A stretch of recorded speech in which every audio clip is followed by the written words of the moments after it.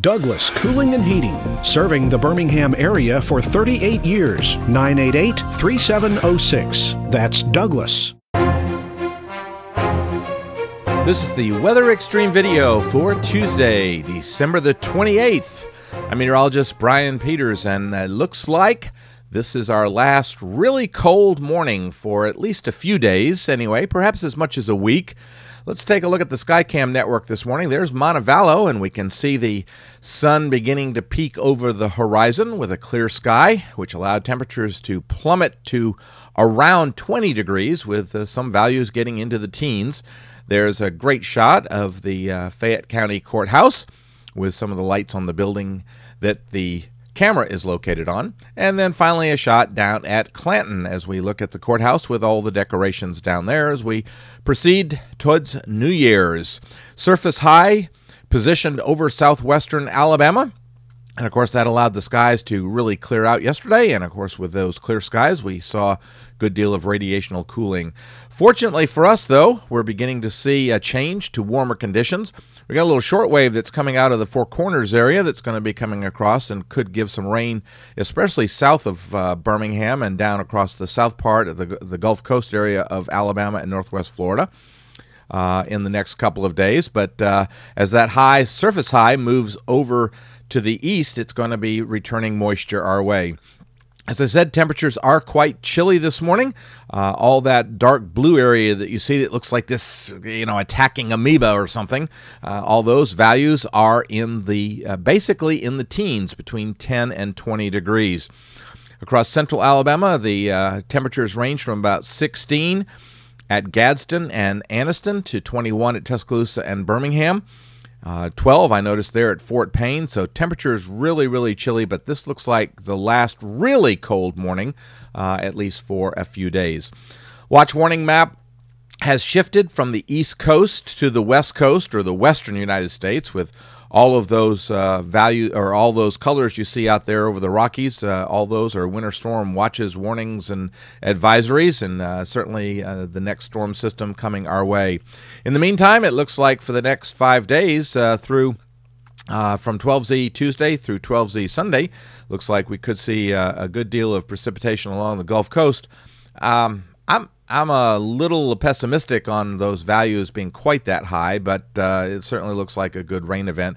And for day two, we're watching how much the uh, deep layer moisture is going to be returning uh, over uh, the northwestern Gulf uh, Coast area from um, east and um, Gulf Coast Texas over into Louisiana and uh, edging into or very close to southwest Alabama. 06Z GFS model run this morning, and there's the surface high where it's expected to be uh, by noontime today uh, as uh, it keeps the weather calm over the southeastern U.S. That little short wave begins to kick across Texas on uh, Wednesday, and as it does, of course, that's going to help to enhance uh, moisture and precipitation. Uh, the high pressure has moved off over to Jacksonville, and as it does, of course, you can see really good return flow up the Mississippi River and just to areas just to the west. So that's going to help to uh, add to the precipitation over that direction, but it stays away from us on Wednesday. Thursday, the little short wave moves by us as it dampens out, and that will uh, allow us to have at least the possibility of some showers, with most of those showers to the south. But again, the possibility that uh, we'll see some isolated to scattered showers.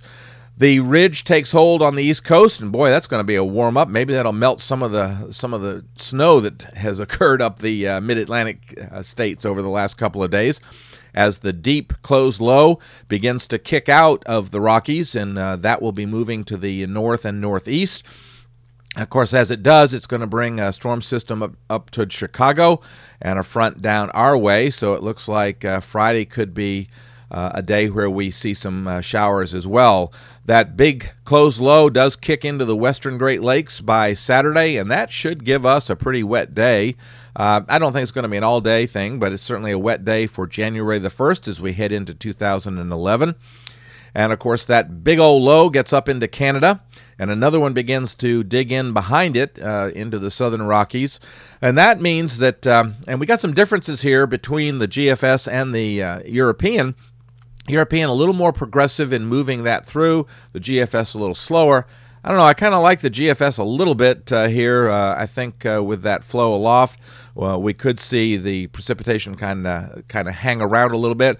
But by noon on the second, it looks like we should be dry. And as the flow, the upper flow on the third Monday, becomes uh, more uh, zonal to southwesterly a little bit. Of course, that means there's not going to be a lot of push for that moisture to stay uh, away from us. So it's it's kind of across, draped across maybe the southern portion of Georgia, southern portion of Alabama, but uh, uh, the possibility that we might see some showers. And then finally, a week from today, that zonal flow continues. So the bottom line is we're not going to be seeing much in the way of changes. It looks like uh, partly cloudy skies and relatively mild, especially compared to what we've seen in the just recent past and for much of December, actually.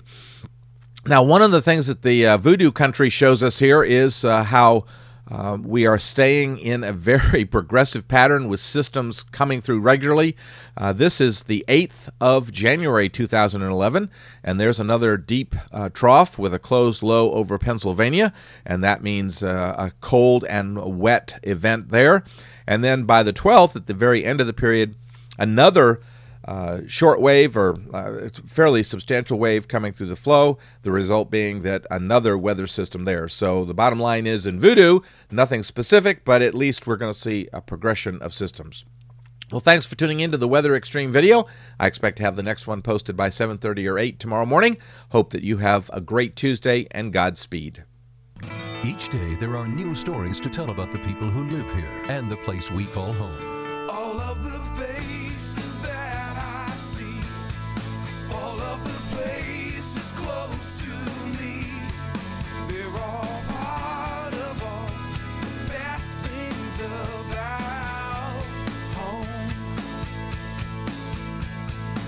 sharing your stories on ABC 3340, Alabama's news leader.